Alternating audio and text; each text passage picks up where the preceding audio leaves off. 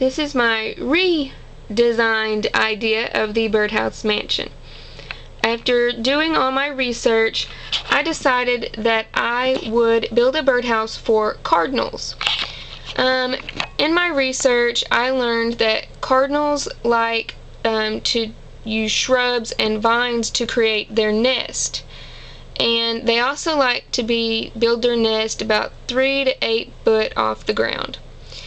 So I decided to be more resourceful and use my environment to create my birdhouse mansion. It would still be big and there would still be um, a place for water and food for the birds.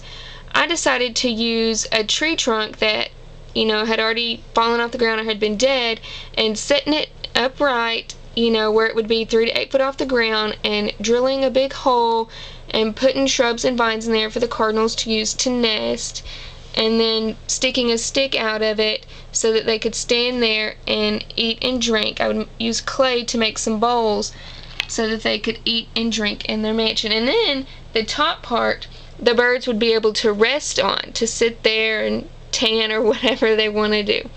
This is my redesigned and more resourceful birdhouse mansion.